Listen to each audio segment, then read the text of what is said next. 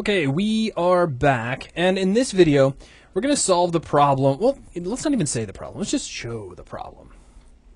If I play the game right now, I can walk right through our tent, and that's an issue.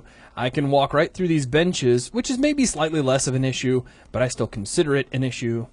And if we fly out here to where our little our tunnel mine thingy is, then we can pass right through it too, and that's problematic. I'd like us to be able to block all that sort of thing off so that we can't just pass right through it. And the way we're going to do that is by setting up collisions. Now I'm going to start off over here in our little tunnel area. Now there's a lot of different ways that you can add collisions. Uh, you can add them specifically to objects as a component. We can bring in a separate uh, piece of geometry that we can use as a collider, and that's what we're going to do in the case of the tunnel. So here inside the hierarchy view, I'm going to click on our tunnel, and we're going to go to create, and I'm going to make a cube. Now this is going to drop a cube in here where I'm actually looking, and that's, I don't want to move it that far. So uh, let's just hit Control Z, and I'll navigate the view to over here, right where my tunnel is. Let's do that again. Let's go to create, cube, and there we go. Now our cube is currently sitting pretty much right in the middle of everything. Uh, now let's make sure we can find the cube. Here it is inside of our hierarchy view. I want to parent this to the tunnel object. Now this will throw up a little bit of a warning, but if I drag the cube right here on top of tunnel, we get our warning that we're about to lose the connection to the original prefab, which is fine, no problem. And now it's a part of the entire tunnel object. Now, in doing that, we get a, a, little bit of a bonus in that we can now position this relative to the tunnel. So, for instance, if I take up here in the transform in the inspector, the very top we have position X, Y, and Z. And if I set all of these to zero, so I say zero, tab, zero, tab, zero, now the cube is right there at the location of the pivot point of this object, which is pretty handy. So if you ever need to center one object to another's pivot, that's certainly one way to go about it. You just parent them and then uh, set the transforms over to zero. Now, I'm going to make this block take up the entire area inside the fence and then a little bit above it too so that nobody can you know jump over the fence if they try to get really clever. So I'll drag this up into the air. Now I'm using the move gizmo, which you can use by tapping the W key if you don't already see it. Then I'm going to get the scale gizmo out by hitting the R key now, this allows us to scale in the x-axis, which is the red axis. We can just drag that out until it's about as wide as both pieces of the fence. So we just push it out, about like so. Maybe pull it back in just a tad, and it's it's not perfectly even, but it's pretty close. We can go back to move with W and just kind of slide it over a little bit to center it up. Now let's go back to scale with the R key. And we'll scale this forward in Z and make it nice and big and we'll we'll sink it all the way into the cliff. So now we'll just kind of slide this back a little bit, and it's okay if it hangs over a little. We won't be able to see it when all's said and done anyway. Now let's go back to scale, and we'll scale up Y. And there we go, and I'll just kind of sink this down a little bit. And let's go just a, a little bit higher. And we'll slide that back up. So I'm doing a lot of jumping between W and R for scale. Now, this object now encapsulates our entire area. And if we take a look at this box, this cube, as a matter of fact, I'm going to change its name. Let's come over here and press F2, and we'll call this Tunnel Collider, which should now be at the bottom of our list, or close to it.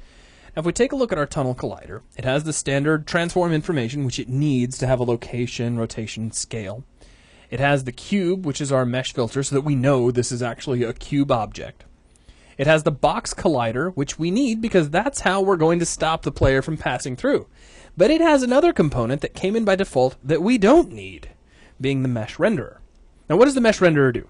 Well, mesh renderer is actually the component that's responsible for drawing the geometry that you see when it renders. It's actually the the uh, well, the mesh renderer. It renders the mesh. it renders the mesh. That's right. It is the mesh renderer, and so it renders the mesh. Now, we don't need this mesh to render. We're basically building an invisible force field that will stop our player from being able to walk through the fence. So let's right click. I'm going to hold down the right mouse button on our mesh renderer and then click on remove component. And suddenly that just disappears. So now if I deselect it, we don't even see it anymore. But let's test things out. Let's go ahead and just hit play and I'll use my super fast hovercraft mode to fly out there as quickly as my little capsule feet can carry me. And thunk, we can't go any further. So we actually have something that is stopping us. That fence actually does seem to be impeding our progress, which is exactly what we want. So that takes care of the first part of our problem. Now let's go back to the camp. Now to flash over there, I'm going to click on the camp in the hierarchy and then tap the F key in the viewport, and that'll fly us over real nice and quick. Now I'm going to do the exact same thing for the benches, but I'll do it a little more quickly, Can we try a different way? if you like. Uh, uh, let's just demonstrate a, a different way you can do it. Select one of the benches like you got, go to component, Mm-hmm. go to physics, Mm-hmm. and go box collider. Bink! And there we go. And we immediately have a box collider. Now, the interesting thing about doing this is it gets to be a little bit tricky to get it positioned exactly right. Uh, we have a size, we have a center, and we can slide this around, but what are we missing? Well, no rotation. Right, we don't have any rotation. So your object has to be rotated to orient within that. Right, and we don't. I don't really want to do that. So, but but we will. We could make use of that. Uh, now, one thing we could have done, we probably could have used a box collider over on the tunnel uh, because we hadn't rotated that at all. Because this object, because this bench has a little bit of an odd rotation that is not really a part of the pivot. It's just the vertices themselves are kind of off kilter Ah, by a little. Uh, then our box collider doesn't line up exactly.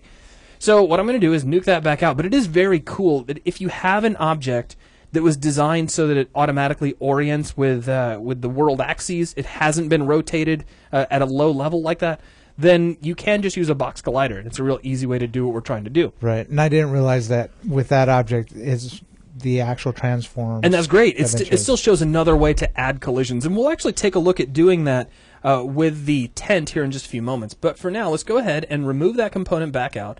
And because I want to be able to rotate and fit something pretty much exactly to our bench, then, well, now we need to create a separate object.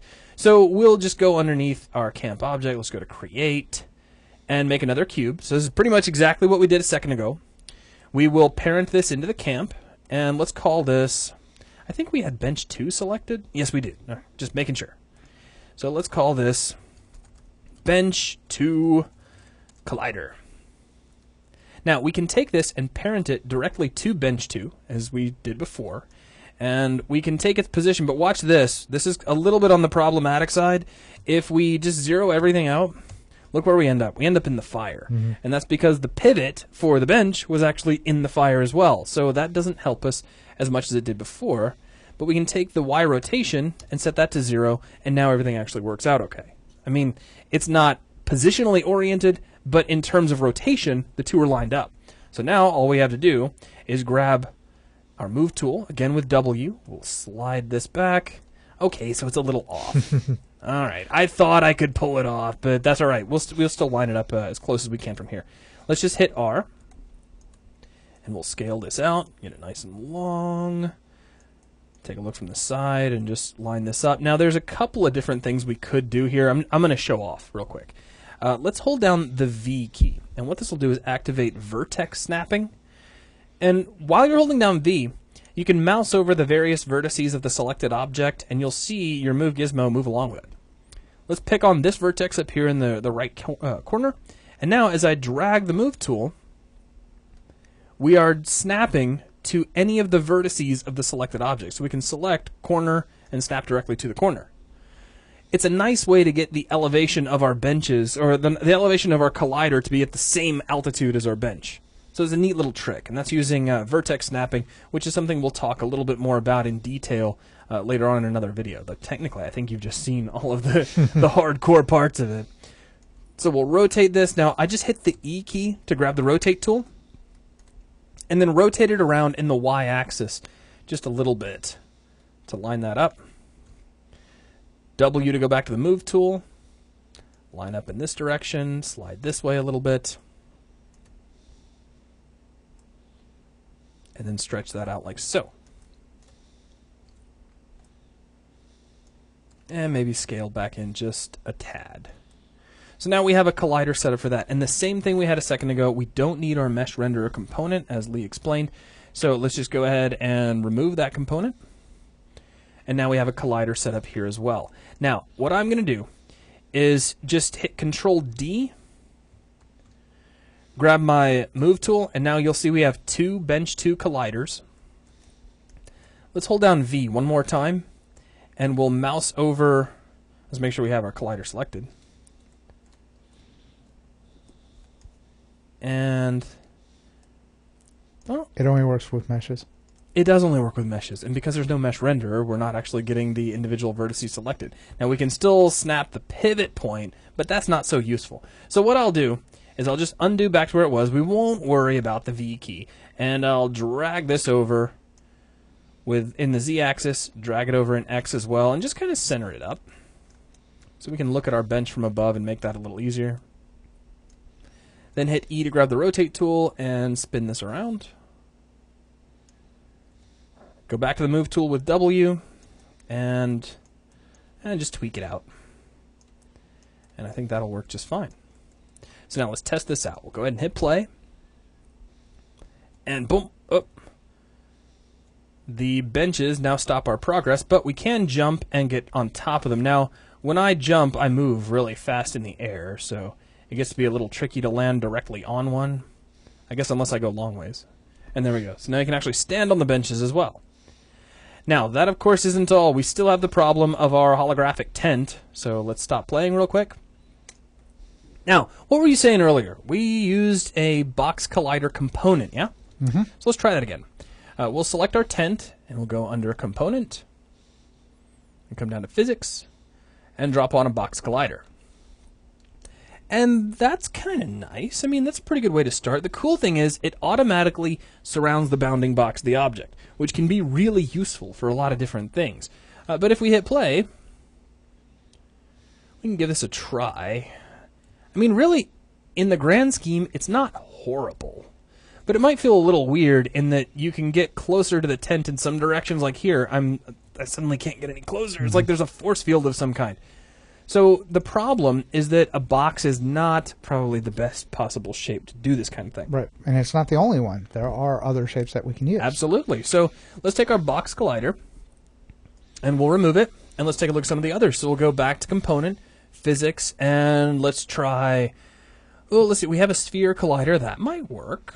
Uh, there's a little bit closer approximation of the tent. And we could probably take the sphere, and of course, we can move the collider independently by a little bit. So we can take the center here in the properties and take its Y and bring it down a little. And this might work just fine. And that seems to be working okay. See, the trick is, is with a collider, the more complex the shape of the collider, the more mathematics are involved for calculating a collision. That's true. So what you want to do is you want to get the simplest shape that you can possibly get away with, with a sphere being the fastest, a box collider a little bit uh, more expensive, a capsule collider being even uh, a little bit more expensive, and last ditch is what is called a mesh collider. And this is a really strong tent because I can stand on top of it. and you're absolutely right. The mesh collider is the most expensive, but we haven't even seen the mesh collider yet. So let's at least take a look at that. Yeah. So I will once again right click on the sphere collider. We'll remove it. Now, as you've seen, we have some other colliders as well. We have wheel colliders and capsule colliders. Let's just grab a mesh collider. And if we do this, we don't see a collision object appear like we have before. That's because the vertices of the polygon mesh itself are used. It's kind of like the model itself. You can think of it as it's kind of like a separate model is duplicated out of it, and we're using that for the collision. So now, just by adding a mesh collider, we can hit play, and now the tent itself stops us. Now, this can get really expensive, and if you have a really complicated model, you really don't want to do this if you don't have to. Fortunately, this uh, mesh is fairly simple, and so it's really not that big of a deal to use, and it does allow us to show a bunch of different types of colliders. But now we've taken care of our problem. We have our benches that now stop us. We have our tent that stops us. I didn't worry about the campfire. We'll deal with that at another time. And of course, our chain link fence now stops us. So we have all of our collision objects in place, and that's everything I wanted to show. Is there anything you want to mention before we head out? There is one thing I would like to show. Mhm. If you can delete the uh, mesh collider on the tent, Sure thing. Let's go ahead and stop playing real quick, and then we'll nuke that out. and then remove the uh, two colliders that you put on the benches. Oh, but I liked those well, colliders. turn them on. Uh, Actually, before I do that, and this is something I overlooked only because I was so excited. I was moving it over. Yeah, I duplicated this guy, uh, and what I need to do is make sure that he's actually named Bench One Collider, and then we're going to make sure he's parented to Bench One. So each bench has its own collider. Is that what you were going to show? No, actually, I was going to go um, one place further. Okay. Um, if you don't mind, actually, go ahead and um, delete out the camp because we've broken Okay. the whole thing. Bring in a new copy of the camp. Mm-hmm. And let me go ahead and just kind of spin it around, get it close to where it was. It doesn't have to be exact. We're just kind of showing a demo level anyway. Right. Now, this one's a little bit more expensive, but it's a trick that you can do if you've got some objects and you don't want to have to hand put in all the colliders. Mm-hmm. So if you go under the project window and you go to camp, Okay. and in the inspector, underneath uh, the mesh compression, there's one that says generate colliders. Ooh, generate colliders. So if you check that and make sure we go down and hit apply. and hit apply, your prefab is now going to have colliders attached to each and every mesh. Awesome. So we should be able to just try this out. Now these are all mesh colliders, yeah? Correct. Gotcha. It's more expensive, but if you've got a very complex um, scene that you're bringing in, Mm-hmm. it's a very quick way to get colliders on everything really Awesome. fast. Now we really don't need any colliders on our campfire, so we can go ahead and leave this because again, this is really just uh, mostly about academics anyway.